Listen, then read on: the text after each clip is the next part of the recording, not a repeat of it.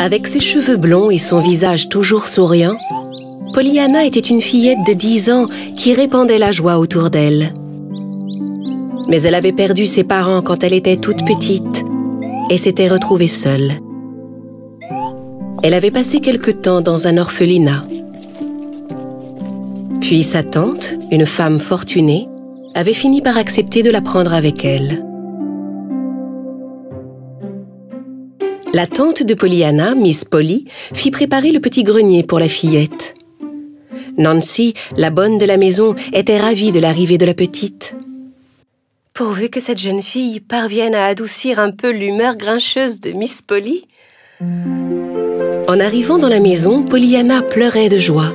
Elle se jeta au cou de sa tante, mais celle-ci ne quittait pas son air sévère. Elle conduisit Pollyanna jusqu'à sa chambre. Pollyanna était stupéfaite de découvrir cette maison si grande et si luxueuse.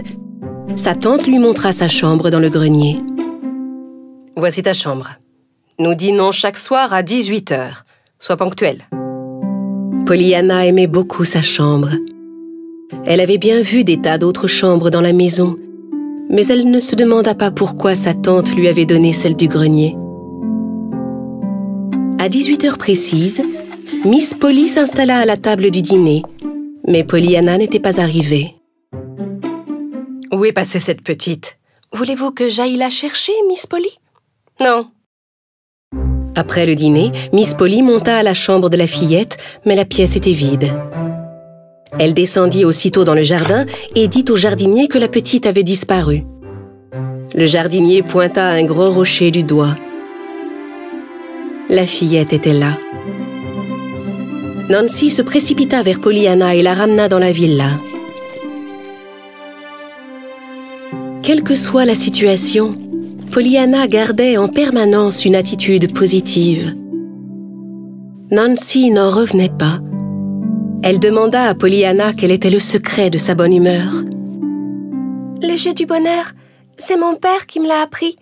Quand j'étais petite, une très gentille dame nous a envoyé un jour des béquilles. Quand je lui ai demandé pourquoi, elle m'a dit qu'aussi longtemps qu'on les aurait sous les yeux, on pourrait apprécier le fait de ne pas avoir à s'en servir et qu'on en serait heureux.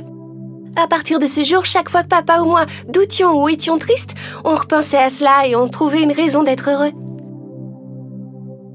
Mais plus tard dans la soirée, seule dans sa chambre, Pollyanna pleurait à chaudes larmes, assise sur son lit. Oh père, mon cher papa qui est parti vivre parmi les anges. J'essaie de toutes mes forces de jouer à notre jeu. Mais si tu étais dans ce grenier sombre, assis tout seul, comme je le suis en ce moment, trouverais-tu facile d'être heureux? Le lendemain, Pollyanna descendit dans le jardin et se réfugia dans les bras de sa tante. Ma tante, ma très chère tante, la vie me paraît tellement belle ce matin. C'est comme ça que tu dis bonjour?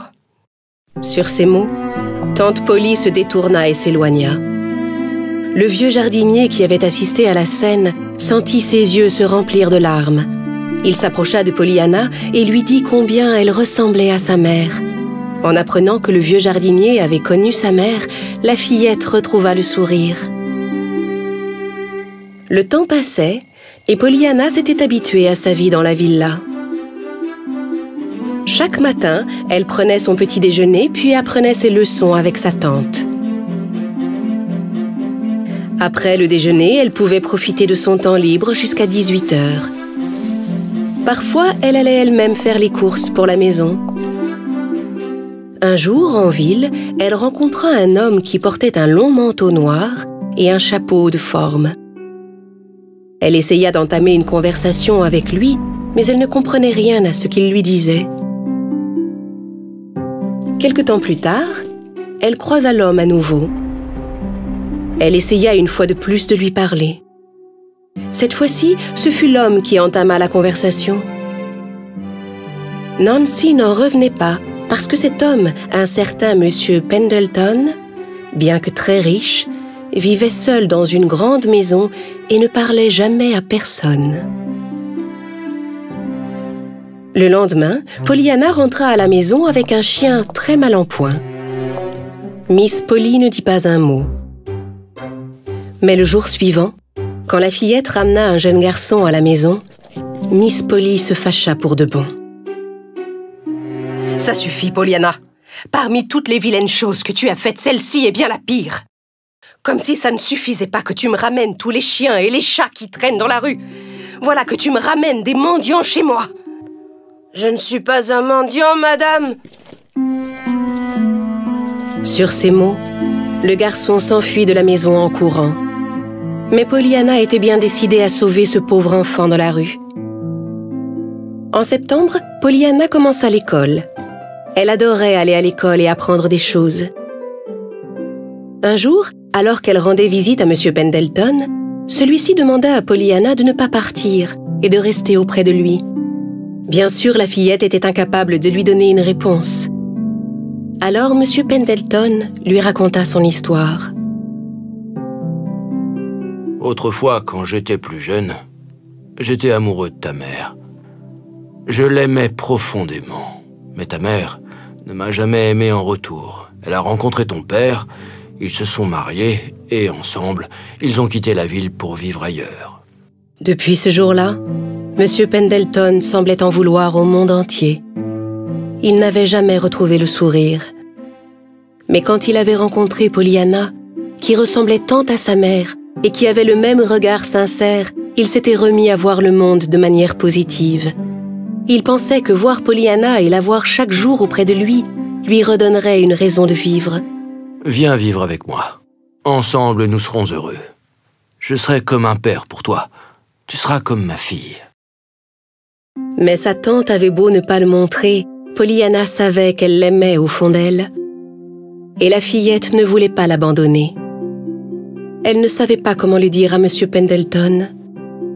Enfin, elle imagina une solution elle proposa à M. Pendleton de recueillir Jimmy, le garçon dont sa tante avait refusé de s'occuper. Elle se dit que cela pourrait rendre et M. Pendleton et Jimmy heureux. Pollyanna pourrait leur rendre visite plus souvent et les voir tous les deux. M. Pendleton lui demanda de revenir avec le garçon la semaine suivante. Mais quelques jours plus tard, un terrible accident arriva. Pollyanna fut renversée par une voiture. Quand elle rouvrit les yeux le lendemain à l'hôpital, elle était heureuse d'être en vie. Elle voulait que sa tante reste à son chevet. Elle était tellement contente de l'entendre enfin l'appeler ma chérie. Quelques jours plus tard, Pollyanna quitta l'hôpital, mais elle ne parvenait toujours pas à marcher.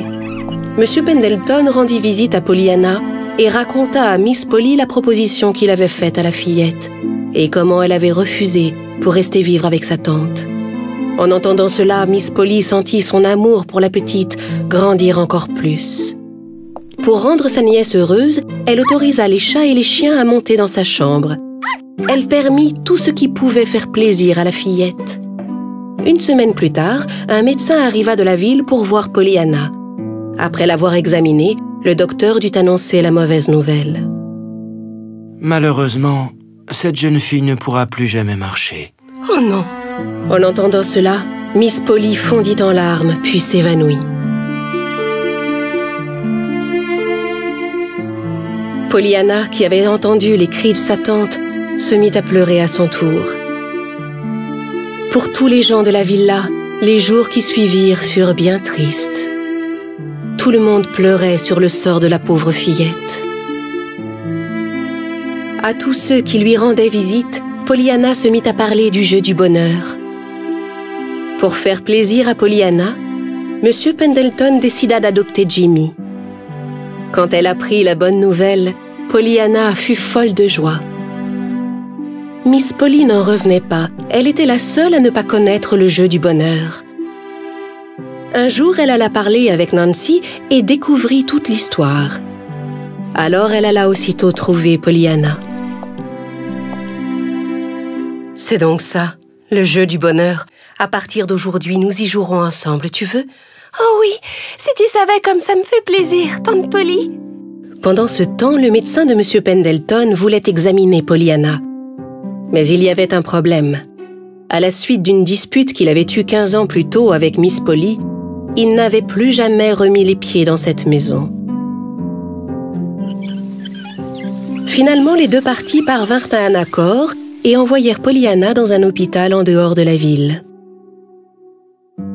Le médecin de M. Pendleton prit la jeune fille en charge et annonça rapidement qu'il restait un espoir. Quelques mois avaient passé quand tante Polly reçut une lettre de Pollyanna. Ma chère tante Polly, j'ai de grandes nouvelles. Mon traitement ici fait des merveilles. J'ai recommencé à marcher. Les médecins me disent que je pourrai bientôt rentrer à la maison. J'espère que je pourrai rentrer à pied, comme je suis heureuse. Tout me remplit de bonheur. À vrai dire, je suis même heureuse d'avoir perdu quelque temps l'usage de mes jambes. Car si ça n'était pas arrivé, je n'apprécierais pas autant de pouvoir marcher aujourd'hui.